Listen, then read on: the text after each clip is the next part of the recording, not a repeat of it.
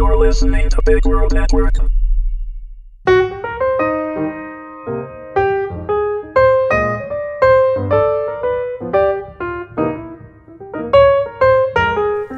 Taking Care of Business, Episode 1 An Estelle Watkins Mystery, written by Tristi Pinkston, read by Wendy Herman.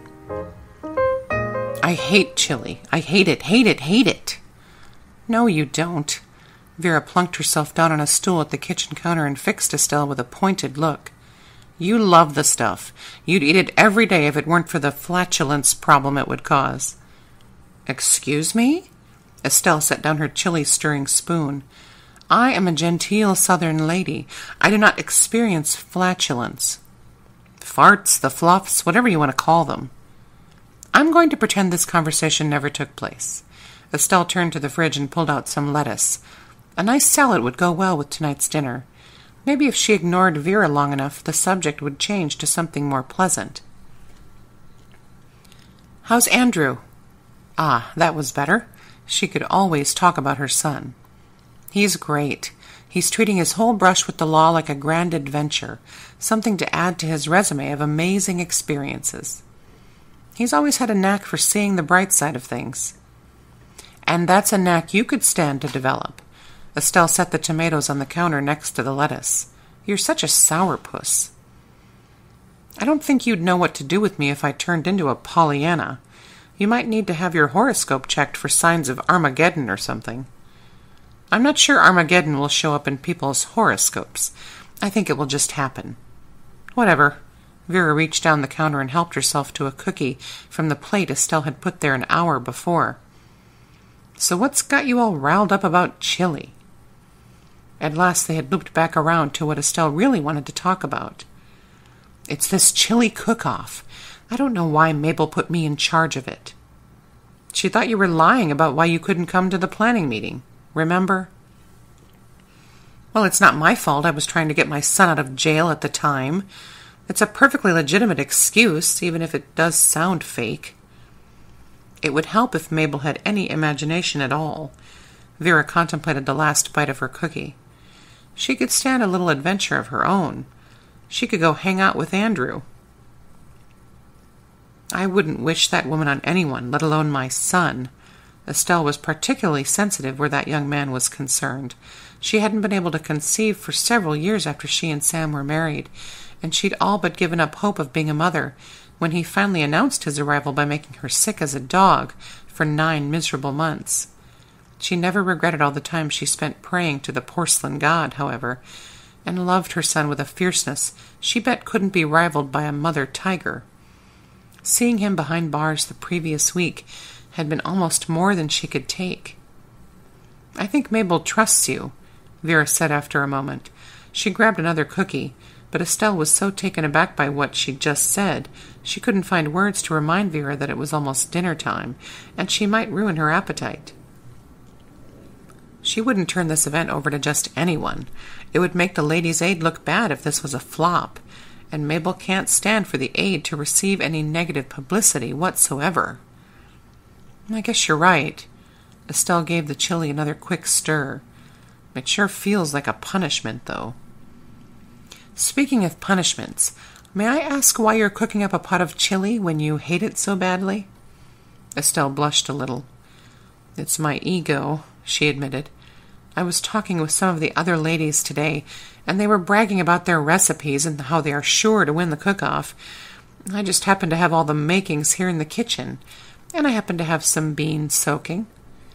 Because who doesn't happen to have two pounds of pinto beans soaking in their kitchen at all times? So I figured I'd make some, and Sam loves my chili, even more than I do. And the two of you can fluff together. Isn't that romantic? Oh, hush. A rumble alerted Estelle that the garage door was being raised. She glanced at the clock. Sam was half an hour early. That was so unlike him, especially during tax season. Jackson Hewitt never let their employees off before five. At least this branch didn't.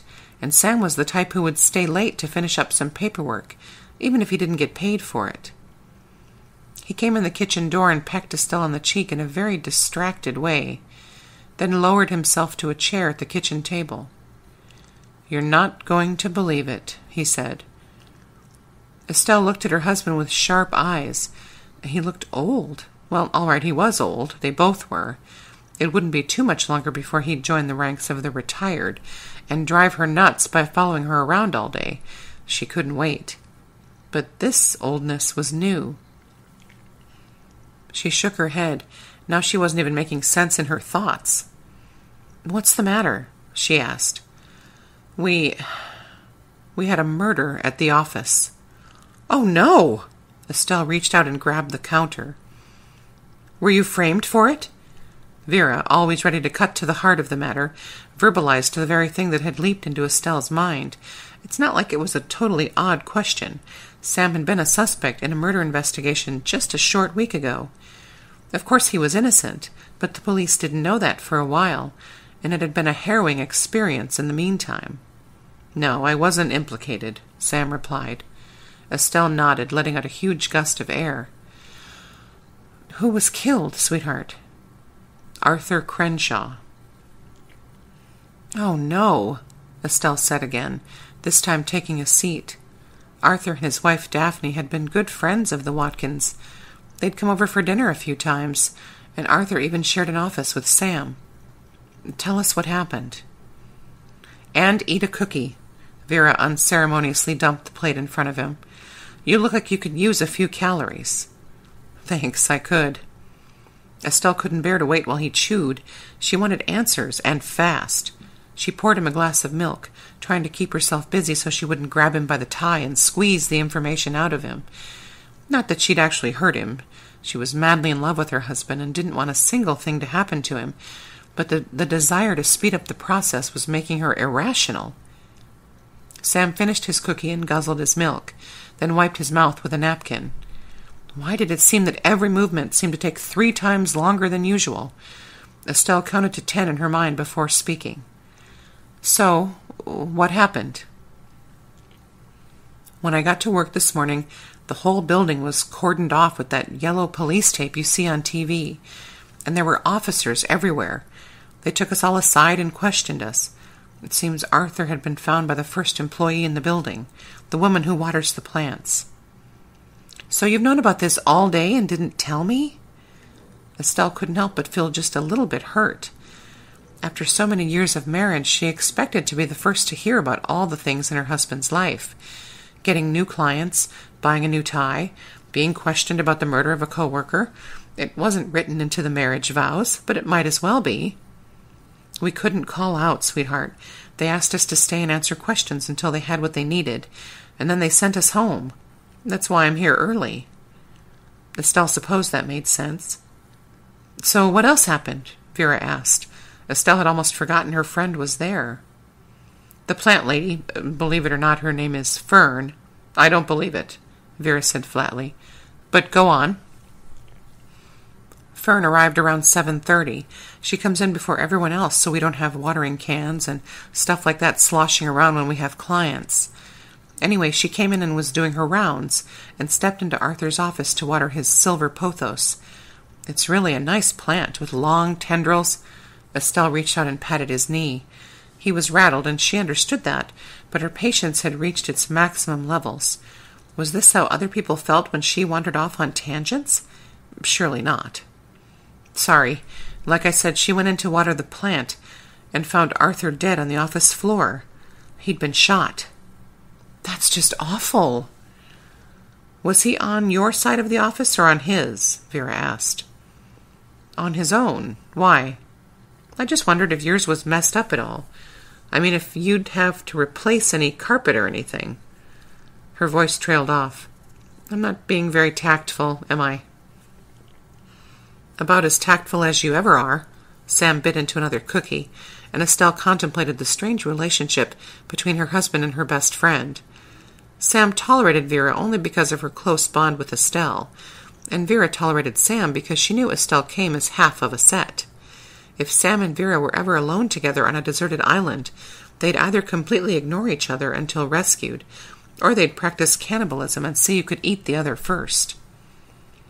Did they suspect anyone yet? Estelle asked. They weren't ready to make any arrests when they sent us home, Sam replied after sipping his milk. But they've asked us all to stay in town. If they've asked you all to stay in town, how do you know you aren't implicated? Vera asked. Seems to me if you were totally in the clear, you could move about at will. Honestly, Vera, you sound as though you'd like me to get arrested. That's not it, she protested. It was hard for Estelle when you were arrested last time. I just want to make sure she doesn't have to go through that again. I wasn't arrested last time, Sam pointed out. I was a person of interest, but they never arrested me. Okay, okay, truce, you two. Estelle held up her hands. This is worse than the Jerry Springer show.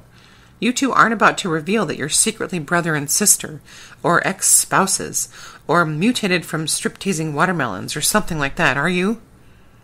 Sorry, Sam mumbled. Me too, Vera said, crossing her arms and looking anything but contrite. We should be thinking of poor Daphne. Vera nodded, not convincingly. Sam rose from the table and kissed Estelle on the cheek. You're right, sweetheart. It's not the time for silly squabbles. He loosened his tie and undid the top button of his shirt. I've had a really bad day, and I think I need to go lie down for a few minutes. Of course, dear. Estelle watched his back as he went up the stairs, feeling a surge of love rush through her heart. She would never stop loving that man, even if he did sometimes struggle to get to the point.